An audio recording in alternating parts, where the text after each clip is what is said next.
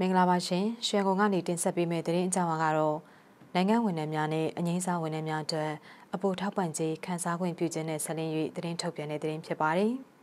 ။စီမံကိန်းနှင့်ဗန်ဒိုင်းဝင်ကြီးဌာနဟာ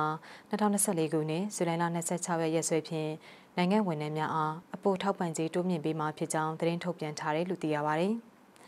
အဆိုပါသတင်းထုတ်ပြန်ချက်တွင်နိုင်ငံတော်အစိုးရဟာနိုင်ငံဝန်ထမ်းများနိုင်ငံတော်ရဲ့တာဝန်ထမ်းဆောင်ရာတွင်စားဝတ်နေရေးနှင့်တက်တာချောင်းရေးကိုအထောက်အကူပြုစေရန်အတွက်အခါအားလျော်စွာလာစာနှုံထားတိုးမြင့်ခြင်းနဲ့အပိုထောက်ပံ့ခြင်းခန်းစားခွင့်ပြုခြင်းတို့ကိုဆောင်ရွက်ပေးခဲ့ကြောင်း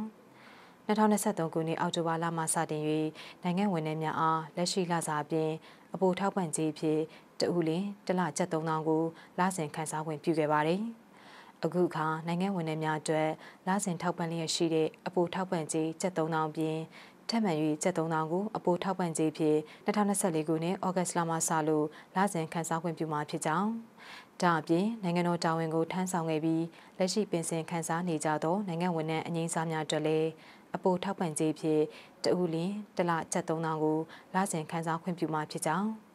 အဆိုပါထောက်ပံ့ကြေးများအား2024ခုနှစ်ဩဂတ်စ်လ1ရက်မှာစတင်ခန်းစားခွင့်ပြုမှာဖြစ်ကြောင်းသတင်းထုတ်ပြန်ထားတယ်လို့သိရှိရပါတယ်ရှင်။